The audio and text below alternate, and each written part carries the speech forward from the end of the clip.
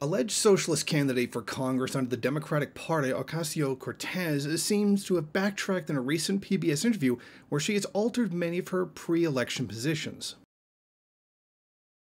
Cortez had previously said on May 14th that Gaza was under siege. It was an occupation, people were being killed. It was called a massacre where Israeli troops were murdering Palestinian civilians and she said that any activist should feel the same way.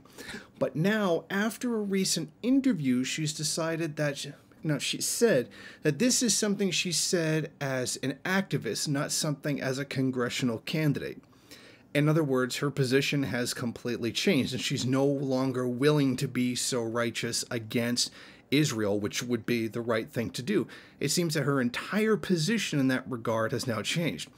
Now, this statement alone suggests that other positions that she will hold or that she did hold will no longer be valid now that she's trying to run for Congress. In other words, again, another example of you don't change the system, the system changes you.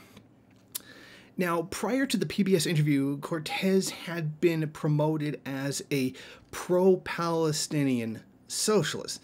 Of course, this is very strange coming from someone who decided to run for a party that has received over $5 million from the pro Israeli lobby this year alone. So that's kind of a contradiction there, because you can't really claim to be pro Palestinian while being part of one of the two major parties.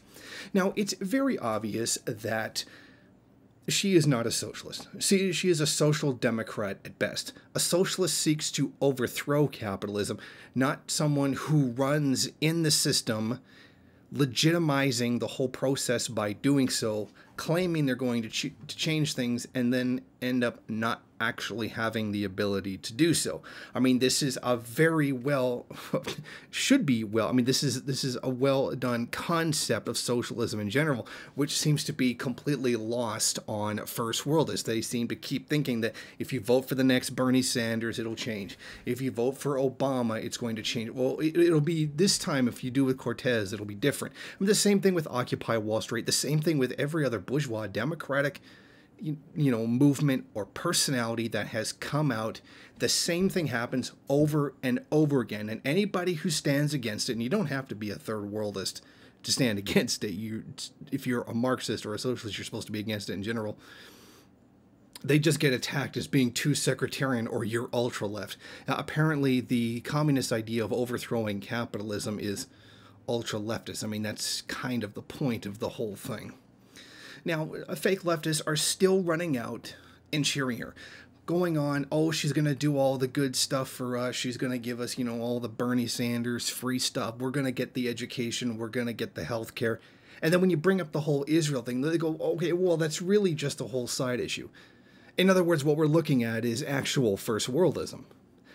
We're going to get all the stuff that we want, but, you know, that whole anti imperialism thing that is, you know, the primary contradiction well, we're just going to shove that aside so that we get what we want and we don't really care that is being paid for by the exploitation and the oppression and the murder of the third world. So it seems perfectly reasonable to me that first worldists would take on this position of just simply voting in someone who's going to give them all the nice, soft democratic reforms. That is the criticism that third worldism makes, that first world people are not interested in doing revolution. They're only interested in getting a few democratic reforms to make their lives better because they are already materially well off.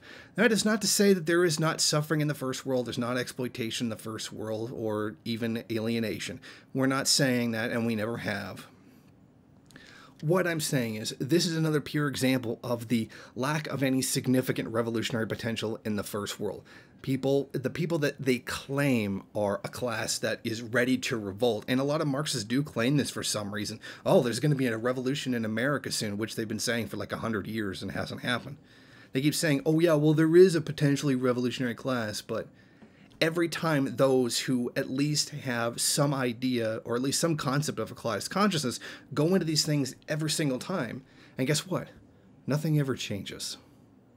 Thank you for watching. If you like this program, then please head over to my Patreon page and set up a monthly donation.